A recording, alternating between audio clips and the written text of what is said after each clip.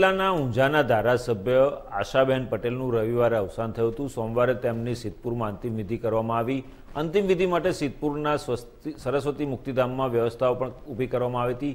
આશાબેનના પાર્થિવ દેહને સિદ્ધપુર લાવવામાં આવ્યો અને ત્યાં, જ્યાં તેમનો પાર્થિવ દેહને અંતિમ ક્રિયા કરવામાં આવી અને પૂર્વ મુખ્ય, આ સમયે પૂર્વ મુખ્યમંત્રી વિજય રૂપાણી અને બળવંતસિંહ સહિતના નેતાઓ સિદ્ધપુર પહોંચ્યા હતા.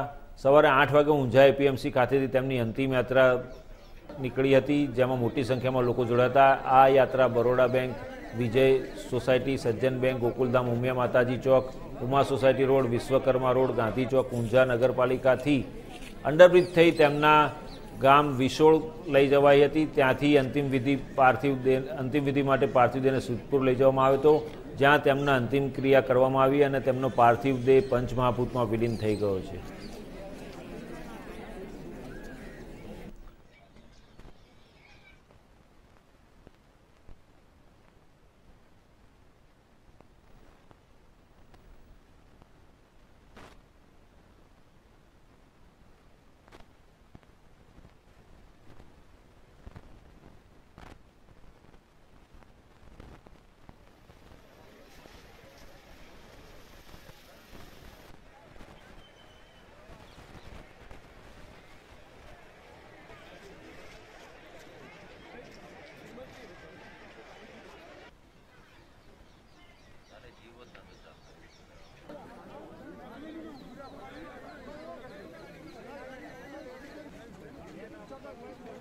Yeah.